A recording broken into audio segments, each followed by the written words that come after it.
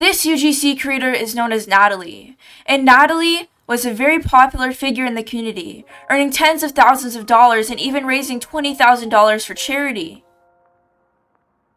The game that she stole was known as Arcade Island, an immensely popular game with tons of visits, essentially like an arcade but in Roblox, developed by arcade fanatic BC Blake 101.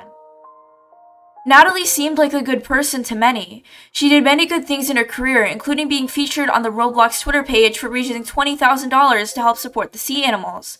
However, it was also revealed that her sea animals was copied from someone else.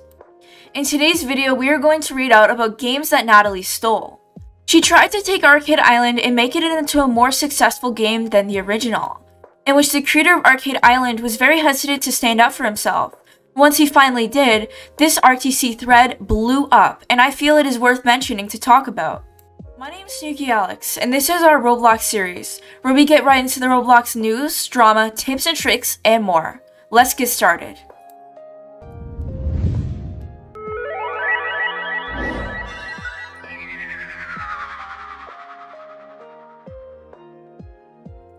Yo, what's up, Hashtag Squad, and welcome back to another video. Before we get started in today's video, make sure to subscribe for this Roblox drama, news, tips and tricks, and more. We are so close to 14k, please help us get there by subscribing. It only takes a second. Alright, no hesitation, let's get right into the thread, which the thread reads, Last year, Natalie Clavo willfully stole the name and theme of Arcade Island to turn it into a simulator. I never want drama. However, in light of the recent events, I believe it is my responsibility to share truth in how I was treated, regardless of what happens to me. I was shown a video by a fan and reached out. After reaching out, she posted Roblox kids with their non existent trademarks and non binding contracts trying to threaten legal action. This tweet and others were shortly deleted after friends and I replied. Hi, Natalie. I'm reaching out from Beast Studios. I've been informed of your new game Arcade Island by a fan. Although the style is drastically differentiated between my own and your game, issues may arise with having the exact same name in a short matter of time. Please consider altering your branding to respect the originality of our content and game, and which, although it is likely you have seen, can be found here. BC replied extremely unprofessional. I attempted to stop this from getting ugly, and you chose to act unprofessionally. Arcade Island is not trademarked. However, that does not take away that you have mimicked my original name and branding. At the time of posting this thread, several tweets under Play BP, her studio, teasing the upcoming game are still up. Here is one of those tweets. With two more message requests for myself, two weeks later, I finally received a response. This response seemed rather random, seeing that the game was originally going to be called Trampoline Island. It is generally frowned upon to copy the title of an established game.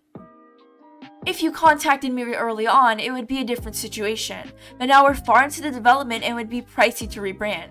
I didn't know your game existence until your game reached out to me.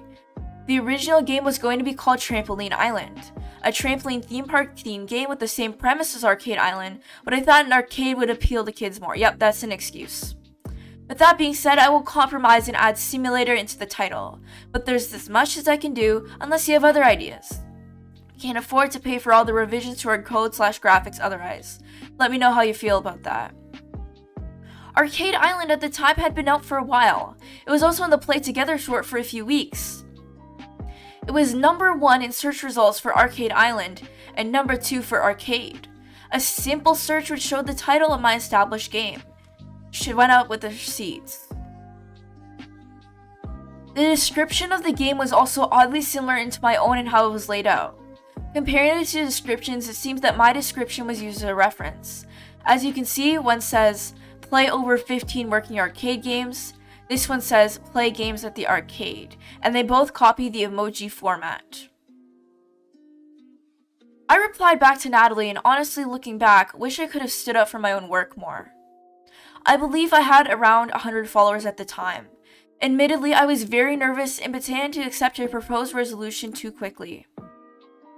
Hi Natalie, before you begin, I appreciate you taking the time to message me back and appreciate your consideration to come to a resolution within this issue. That being said, I must say, being ignored for nearly two weeks is not only frustrating, but stressful for myself and the remainder of the team. This period of time, as well as other unethical, quickly deleted posts, including Roblox kids with their non existent trademarks and non binding contracts trying to threaten legal action, and best decision anyone could ever make, are comments I can confidently say no developer, regardless of status, should be making, whether directly or indirectly. In regards to the game, you, Natalie, you are the only person who knows where the origin of your game came from. Although the evidence points against you not knowing, including the time my game was out for the public to play, the game descriptions being similar in design agreeable upon audiences other than myself. My game appearing the number one research result for Arcade Island and number two for Arcade, only you have the truthful answers to the roots of your game. Taking a look at commissions for ads and logos, and although you continue to hire artists long after my message, although looking up your logo designer and finding out the majority of his projects cost $10 according to his page, I am somewhat willing to agree that rebranding would be a pricey solution. However, in a whole, myself and the development team are willing to come to possible terms with you adding Simulator to your own game. I will be in further contact with my team. Natalie made a response within minutes, claiming to have had hundreds of unchecked DMs. At the time, she had opened 3D modeling commissions. From a business perspective, seemed senseless to ignore DMs with open commissions. I replied and to my regret accepted the compromise. I'd asked Natalie a few more questions in my reply. I asked about how my game and myself couldn't have been noticed. She said she wouldn't answer any more questions, likely because she had no more logical answers. I was still nervous. By now, I was desperate. I was watching the game get 100 plus players, and I just wanted my game to have the chance to grow in the future. I had reached out to someone that they were going to create content for the game to try and share the truth behind it, still nervous. Natalie said, Stop with the jealousy and childness. You're uh, making things ugly and embarrassing yourself in the process. Natalie proceeded to make a tweet regarding this exchange. This tweet, although truthful in that I accepted the compromise, didn't highlight the rest of our communication. It also claimed she had rebranded when in reality she added one word to the title. Natalie, when she still had an account, said, ran into an issue with someone in regard to the branding of my game. Rebranded for them to respect the originality of theirs and they were happy. Then they're going out of their way to make sure people don't make videos on my game. How fake can you be? Hello, like, no, this doesn't make sense. An account named Jake Brown, unrelated to my organization, questioned the situation, leading to several rude comments. One comment reads, You have zero knowledge of game development and it shows. The account also replied with this video. Natalie later discontinued the game, claiming that it was bleeding money. Why am I posting this now? Natalie's posts about her comments are rather unorganized and very conflicting stories. In one post she apologizes, and in the other she claims the account was a troll. This cannot continue. Hey guys, I want y'all to pay attention to this. I have seen posts others that are occasionally complaining. I can't allow this to continue. I hate trauma and cancel culture. My goal here is to spread information and hopefully encourage change. I care for all and hope all can learn to be better people. My tweets reflect that. Please read before replying. For those of you sending hate to any user involved, hate doesn't help change. Regardless of how people act, there is a real person behind every creator. Despite my frustration, I still respect that and care. You should too. Let me guys know your thoughts on this situation and as always, this is for information purposes, this is not to attack anyone.